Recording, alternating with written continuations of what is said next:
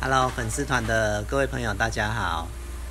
呃，今天要直播的车呢是三菱的这台修理车 savary 那这台修理车哈，呃，其实在台湾卖的非常不错哈。那引擎配置的话呢，有二点零，还有二点四。这台车是零三年款的，引擎动力的话是二点零。那今天安装的话呢是 KT 的道路版。那因为车龄呃有一段时间，所以车主其实原来已经有改过呃弹簧，哦有把弹簧呢磅数加高了。正常来说，Seven 呢原厂的弹簧使用一段时间呢，后面的哈它的呃车高呢都会降低的幅度很大，就好像改装一样。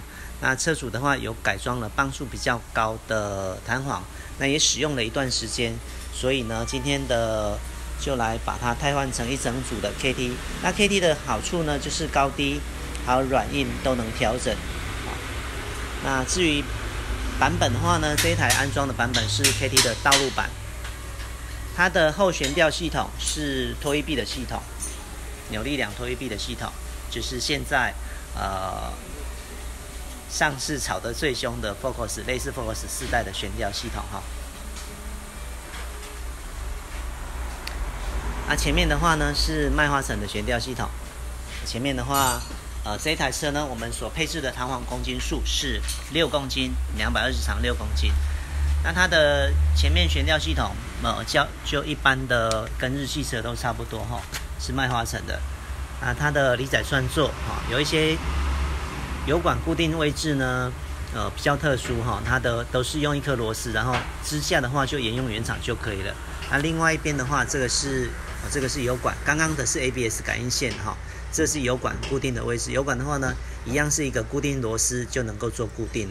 啊，离载串的话呢，它的高度跟原厂一样，所以离载串也不用改装，就直接用原厂的规格就好了。s a v e r 我们没有开过直播，所以今天的介绍呢会稍微详细一点点。啊，前面是两百二十长六公斤，那 KT 的主力友好一样，常常看我们直播就。有常常介绍的是，呃，这个是意大利 IP 的主力哦，它的呃是一整桶从意大利进口哈，并不是在台湾在做混装的。啊，油封的部分所选用的油封呢是日本 OK 的油封。那这里可以看得到的上座哈，我们也有附上座，这个轴承呢是日本口用的轴承，而且这样的形式呢。嗯，譬如说这台车是零三年，那以车龄来说呢，也大概有十呃十六年左右的车龄了。那上座如果还要拆原厂的来沿用，嗯，也许有可能上座已经原厂的上座已经有损坏的状况，所以在拆过来沿用的时候呢，就有可能会有异常的状况呢。所以呃，像这样的上座，我们通常了哈，一般车种的话呢，都会附上座。那师傅在拆装的时候呢，也比较简单。三个人。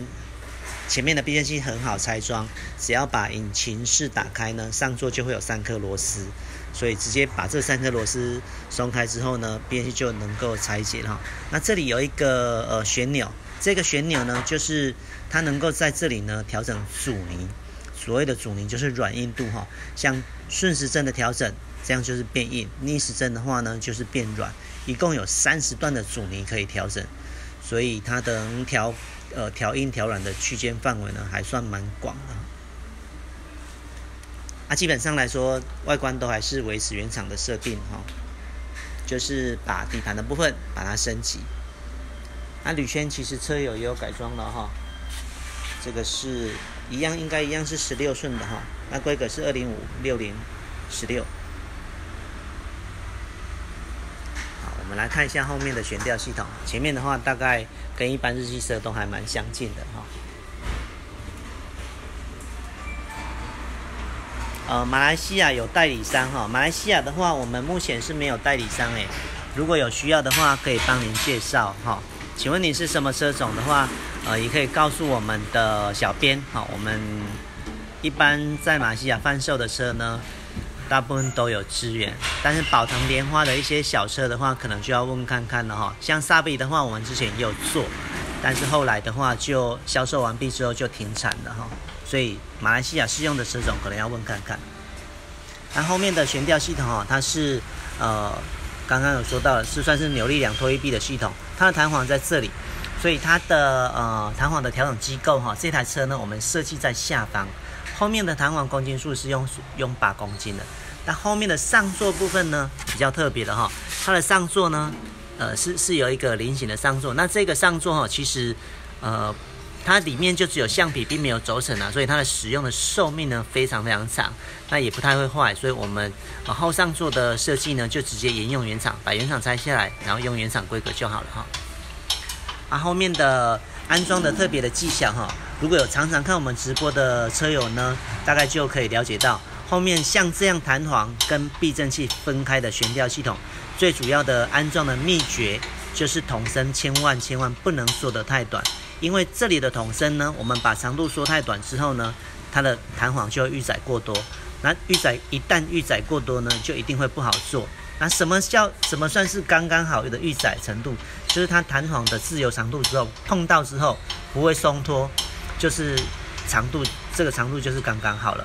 所以它的后弹簧呢，安装的时候呢，要特别去注意一下的重点，就是它弹簧。啊，不能预载过多，预载过多会有几个衍生出来的问题，譬如说它筒身缩得太短，那它做动的时候呢，遇到坑洞离开的时候会有咕咕的声音，然后呃一音久了又不理它，再来就是筒身寿命也会受影响。那最主要的呢，还是这样的弹簧一旦预载过多，它的公斤数变预载。过高哈，就会造成乘坐感的不良。那阻尼再怎么调整呢，都搭配不出很好的乘坐感觉。所以像这样弹簧跟避震器分开的悬吊系统，在安装的时候呢，一定要特别注意，一定不能预载过多。所以后面的话呢，师傅还没有说好。这个托盘松开之后呢，从这里旋转，我往这个方向旋转，它的长度变长，它的预载值就是变少。那调整好之后呢，这个旋紧哈，我们有附一个扳手，再把这个环状的齿轮状托盘把它锁紧哈，就安装完成。那后面上座的部分，后面的阻尼调整呢，是在后行李箱哈，它有一个安呃维修孔。好，在维修孔的里面呢，这个室盖呢，Submarine 它其实是呃有一个有一个室盖是要把它打开的哈，这个室盖，然后这个把它掀开之后。它的上座是在室盖的里面内侧哈，所以也很方便呐，不用再拆下来做调整。哦，在这个地方，那一当然跟调整方式呢跟前面一样，顺时针的话就是变硬，哦，逆时针的话就是变软哈。从这个地方呢就能做做阻尼的调整，也还算是相当的方便啊，不用再把一整只的变器卸下来做调整，还蛮方便的。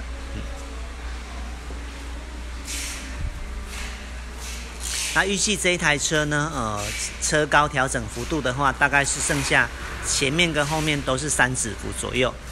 原厂的车高会比原厂的设定的话还要略低一点点。啊，这个是原厂拆下来的避震器。它的上座的部分的话就不需要再沿用了哈。它的上座在这里，原厂的前面上座，然后后面的话就要沿用。啊。这个它的后面的行程其实还蛮长的啊，这后面的悬吊系统，后面的弹簧，后面的弹簧算是走大卷的系统了。它的弹簧，呃，修理车的话，有时候还要考虑到大幅的载重哈，所以它的后面弹簧公斤数的话，呃，当在空载跟满载的差异性呢，会比较大一点。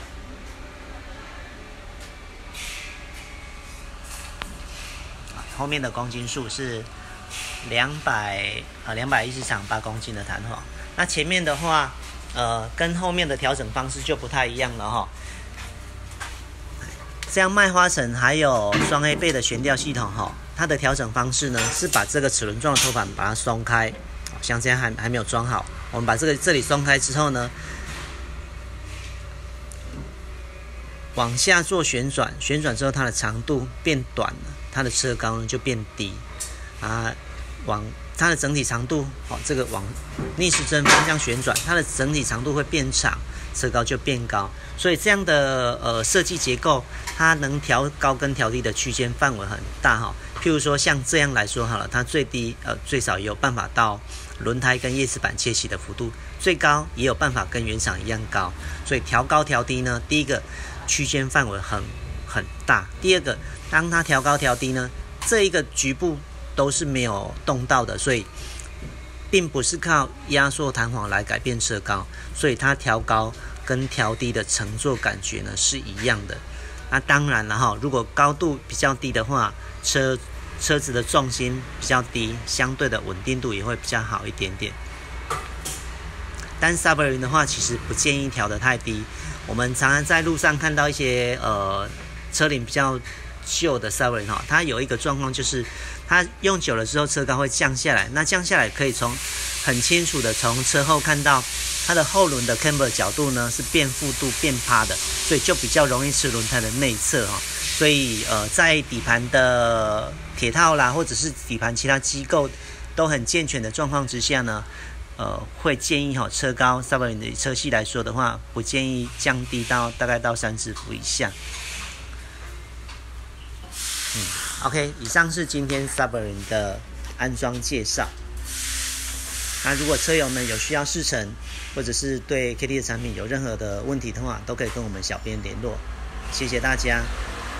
那这个影片呢，也会同步存到 YouTube 哈，所以 YouTube 的呃。车友们呢，如果有兴趣的话，也可以到我们 KT 瑞星的 FB 的粉丝团询问。谢谢大家，好，拜拜。